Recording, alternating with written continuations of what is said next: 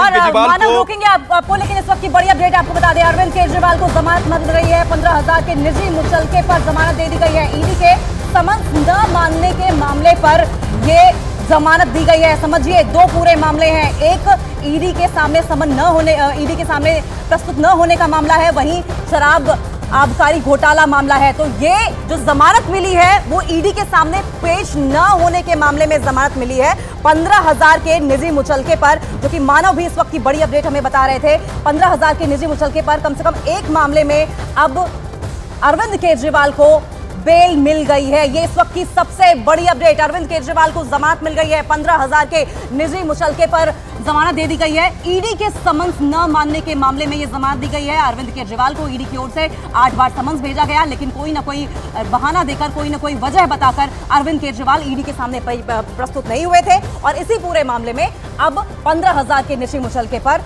अरविंद केजरीवाल को अब जमानत मिल गई है। बेल मिल गई है। सीधा हमारे सहयोगी आनंद का भी रुख कर लेंगे। आनंद, कम से कम ये जो दो केस थे, उसमें एक केस में तो थोड़ी सी राहत मिलती हुई दिखाई दे रही है। बेल मिल गई है अरविंद केजरीवाल को। देखिए, अंकिता, ये इतना पेचीदा मामला है, मैं आपको बता दूँ, ये जो जमानत मिली है, जो जो जानकारी मिल रही है, ये जो 174 की जो कार्रवाई थी, जो ईडी ने कंप्लेंट फ़ाइल की थी, वो एक जमानती अपराध था। उस मामले में जो बेल बॉल बेल बॉन्ड भरा है अरविंद केजरीवाल तरफ़ से हम्म। उस पर उन्हें बेल जो है जमानत दी गई है लेकिन अभी जो ईडी ने सम्मन्स किए हैं लगातार उस पर आगे अभी अरविंद केजरीवाल की मुश्किलें कम होती नज़र नहीं आ रही जो ईडी सूत्र बता रहे हैं क्योंकि उन्हें आठ सम्मन भेजे जा चुके हैं और जो ईडी सूत्र बता रहे हैं कि उन्हें ईडी फिर से संबंध कर सकती है, पूछताछ में शामिल होने के लिए, बुलाने के लिए। तो अभी अरविंद केजरीवाल को जो राहत मिली है, वो जो ईडी ने जो कंप्लेंट फ़ाइल की थी, उस मामले में उन्हें जमानत मिली है, जो जानकारी अब तक मिल मिल रही है, जो सामने आ रही है।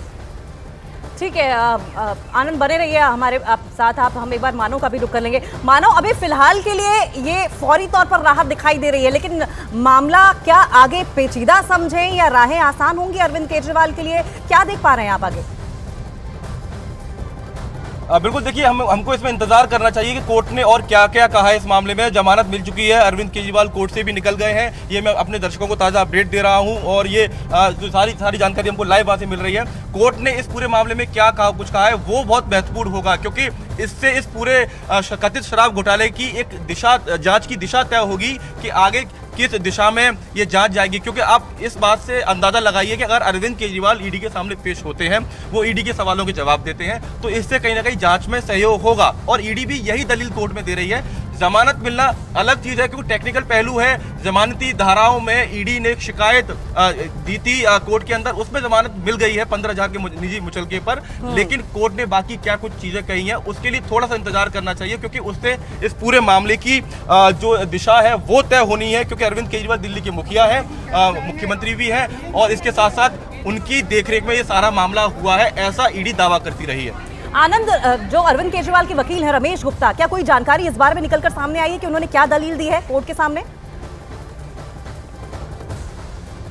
देखिए कुछ देर के बाद जो रमेश गुप्ता हैं वो भी वहाँ पर मीडिया से बात करेंगे बताएँगे कि किस तरह की पूरी कोर्ट की सुनवाई रही है। लेकिन जो जो अंकिता जानकारी मिल रही है जो जमानत मिली है आनंद लौटेंगे आपके पास अरविंद केजरीवाल के इस पूरे मामले पर हम सीधा प्रियंका को रुक कर लेंगे। प्रियंका क्या लेटेस्ट अपडेट है आपके पास?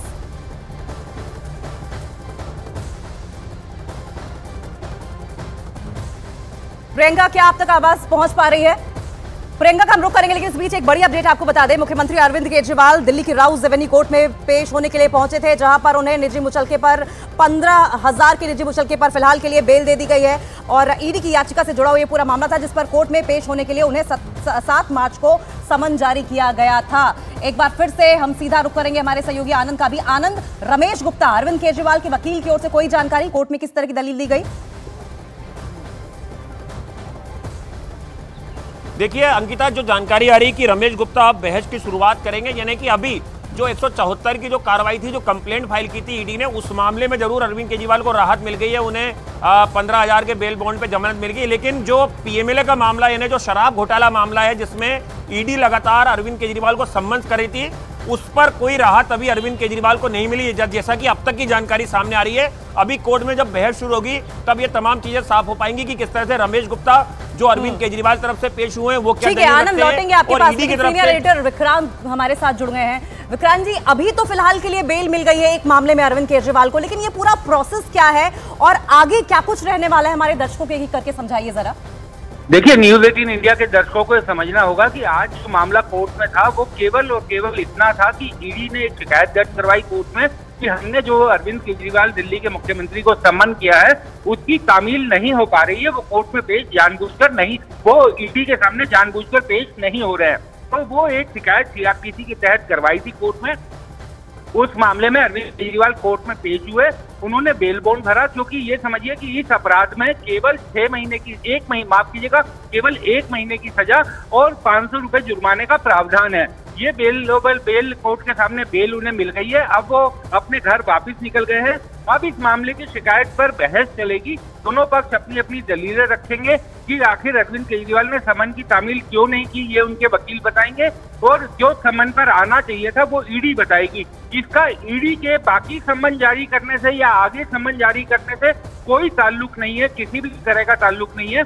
ईडी अभी भी अरविंद केजरीवाल को समन कर सकती है, दोबारा से उन्हें बुला सकती है, लेकिन इस कोर्ट के सामने ये सवाल नहीं है कि अरविंद केजरीवाल को कोर्ट ईडी के सामने पेश करवाया जाए। ये कोर्ट को तय नहीं करना। कोर्ट के सामने केवल इतना मामला है कि अरविंद केजरीवाल पिछले समन पर पेश नहीं हुए।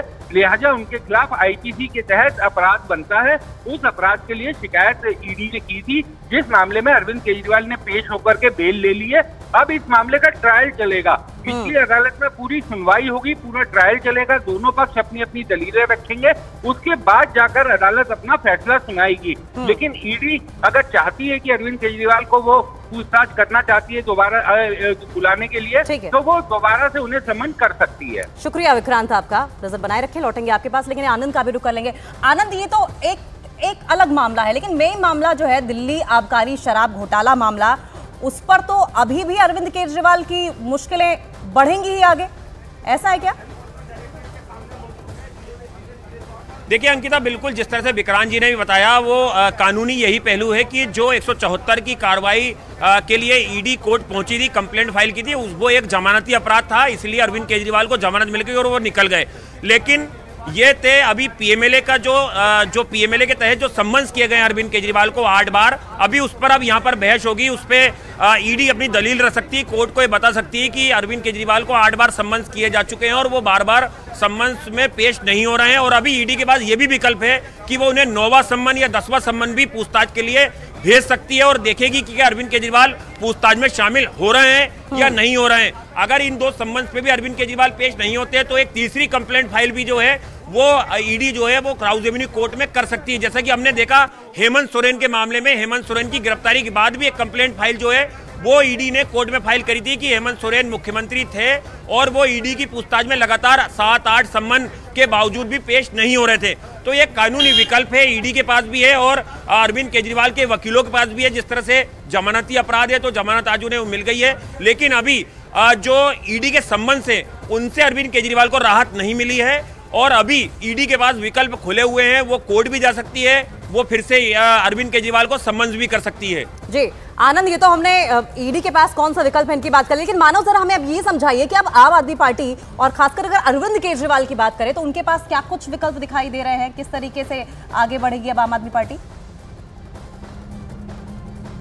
देखिए, आम आदमी पार्टी इस मामले में पार्टी ही नहीं है और दिल्ली सरकार के जो मनीष सिसोदिया, क्योंकि उस एक्साइज पॉलिसी उनके अधीन थी, उनके देखरेख में सारी बनी थी। हालाँकि ये चर्चा ज़रूर चली थी कि क्या मामले में आम आदमी पार्टी को पार्टी बनाया जाए या बना, या नहीं बनाया जाए। और हम अभी आपको बता दें कि कोर्ट में क्या क्या हुआ हम आपको ये भी बता देते हैं। कोर्ट में हुआ ये तरीके से कि ईडी की तरफ़ से कोई विरोध इस बात का नहीं किया गया। जब कोर्ट ने कहा कि ठीक है जमानती वारंट आप भरिए और आप आप जमानत ले सकते हैं। इसके बाद जो गुप्ता हैं जो वकील हैं अरविंद केजरीवाल के उन्होंने कहा कि केजरीवाल को जाने दिया जाए और बहस जारी रखी जाए। और इसका विरोध ईडी ने नहीं किया। उसके बाद अरविंद केजरीवाल वहाँ से चले गए और हम्म। अब इस मामले पर पूरी बहस वहाँ पर चल रही है। ये पूरा ट्रायल आगे चलता रहेगा। लेकिन आम आदमी पार्टी की तरफ़ से लगातार ये ज़रूर कहा गया है कि ये सारे संबंध ईडी के हैं, वो गैर कानूनी है और एक द्वेष की भावना से राजनीतिक षडयंत्र के तहत अरविंद केजरीवाल को भेजे जा रहे हैं। मानो क्योंकि आप के कविता का भी ज़िक्र कर रहे थे, कोई जानकारी क्या इस बारे में आ रही है कि अब से थोड़ी ही देर में के कविता भी राउज कोर्ट पहुँचने वाली है?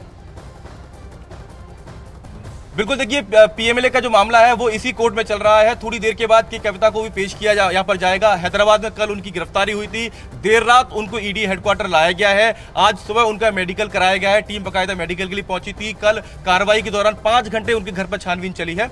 उसमें पाँच उनके मोबाइल फ़ोन जब्त हुए हैं और दो समन्स पर के कविता ने कोई जवाब नहीं दिया था। इसके चलते के कविता को गिरफ़्तार किया गया है और बकायदा पंचनामा में यह भी लिखा गया है कि उनकी गिरफ्तारी के समय बीआरएस के तमाम नेता, कार्यकर्ताओं ने सरकारी काम में, एजेंसी के काम में बाधा पहुंचाई है। तो इन तमाम ये दूसरा पहलू है मामला एक ही है आबकारी नीति का और इसमें थोड़ी देर के बाद के कविता की पेशी भी इसी राव रेवेन्यू कोर्ट में होनी है।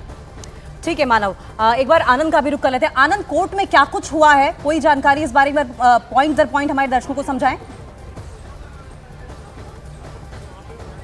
देखिए, अरविंद केजरीवाल आज कोर्ट पहुँचे। उनके जो वकील है, रमेश गुप्ता, वो कोर्ट पहुँचे थे, जो ईडी की तरफ़ से जो एडिशनल सॉलिसिटर जनरल थे, वो कोर्ट पहुँचे थे। और उसके बाद वहाँ पर चूँकि मैंने आपको पहले ही बताया कि ये एक जमानती अपराध था, इसलिए अरविंद केजरीवाल को बेल बॉन्ड भर के उन्होंने जमानत ले ली और वो वापस निकल गए। अभी अब जो है, वो सुनवाई चल रही है। अभी रमेश गुप्ता जो है, अपनी बात रख रहे हैं। उसके बाद ईडी की तरफ़ से अपनी बात रखी जाएगी। और जैसा कि हम आपको लगातार बता रहे हैं कि जो लिकर घोटाला है, दिल्ली आबकारी घोटाला जो है, उसमें अरविंद केजरीवाल को आठ सम्मन ईडी की तरफ़ से भेजे जा चुके हैं। अभी ईडी के पास काफ़ी विकल्प हैं, वो वापस कोर्ट जा सकती है, वो नौवा सम्मन भी अरविंद केजरीवाल को दे सकती है। अगर अरविंद केजरीवाल नौवे सम्मन पे भी नहीं आते तो उन्हें दसवां सम्मन भी जो है, वो भेजा जा सकता है। तो देखना होगा कि क्या, अब ईडी की तरफ़ से किस तरह की आगे रणनीति होगी क्या वो नोवा सम्मान अब अरविंद केजरीवाल को करेगी?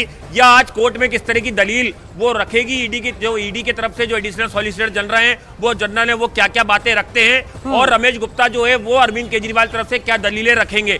इनके बाद ही आगे जो है आ, कुछ रुख जो है वो तय होगा कि अरविंद केजरीवाल को लेकर ईडी आगे क्या करना चाहती है या किस तरह की वो कानूनी विकल्प का जो है वो अपना जो है वो कानूनी विकल्प का इस्तेमाल करेगी।